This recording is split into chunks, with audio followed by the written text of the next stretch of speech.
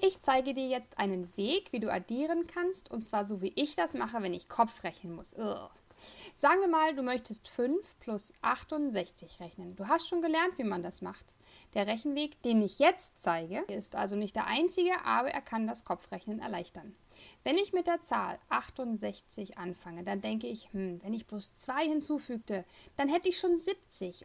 Ich zerlege dafür einfach die 5 in 3 und 2. Ja, mit der 2 ergänze ich die 68 auf 70 und dann sind noch 3 übrig zu addieren. Also jetzt nochmal zum Mitschreiben. Ich zerlege die 5 in 3 plus 2 und das mache ich nur, damit ich diese 2 hier zur 68 hinzurechnen kann.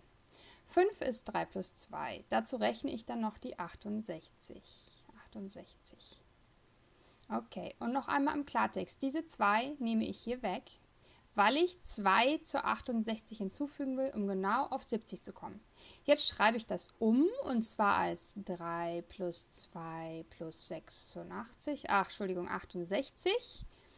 Aber jetzt rechne ich zuerst die 2 plus die 68 aus. 2 plus 68 ist gleich 70. Okay, also hier 2 plus 68 zuerst ausrechnen ist 70. Dann habe ich noch die 3 übrig und 3 plus 70 ist gleich easy peasy 73. Genau. Vielleicht kommt dir das jetzt sehr kompliziert und langwierig vor, aber mit ein wenig Übung kann es das Kopfrechnen erleichtern. Beim Kopfrechnen wird 5 und 68 zu 68 plus 2. Das ist gleich 70. Mal sehen, 5 ist 3 und 2, die 2 zu 68 und ich erhalte 70 und 3 sind dann noch übrig. Endergebnis ist also 73.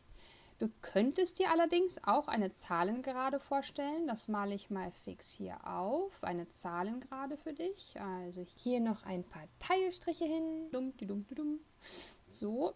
Und dann sage ich mal, dass genau hier, genau hier soll die 68 sein.